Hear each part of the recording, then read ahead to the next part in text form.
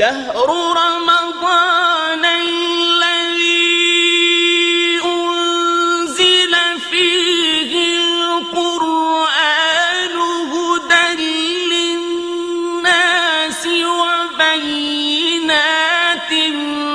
من الهدى والفرقان.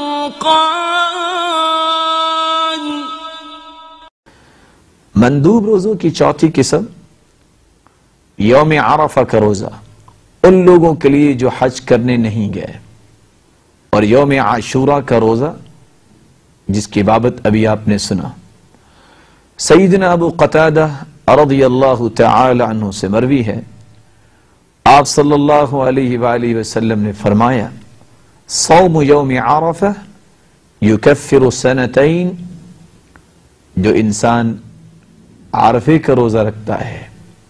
جس دن حجاج کرام میدان عرفات میں ہوتے ہیں، اس دن کا روزہ رکھتا ہے، مالک الملک اس کے دو سال کے گناہوں کو معاف کر دیتے ہیں۔ وصوم یوم عاشوراء یکفر سنة ماضیہ اور جو دس محرم کا روزہ رکھتا ہے، اللہ مالک الملک اس کے ایک سال کے گناہوں کو معاف کر دیتے ہیں۔ مندوب روزوں کی چھٹی قسم محرم کے مہینے کے روزے۔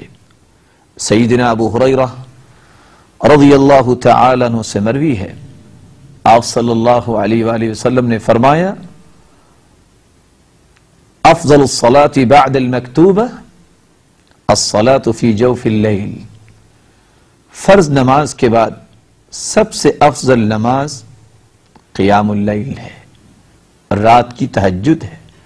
وافضل الصیام بعد شہر رمضان شہر اللہ المحرم. اور رمضان المبارک کے مہینوں کے بعد سب سے افضل روزے محرم کے مہینے میں رکھے گئے روزے ہیں۔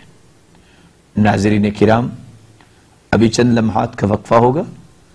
وقفے کے بعد ہم یہاں سے اپنی بات کو دوبارہ شروع کریں گے۔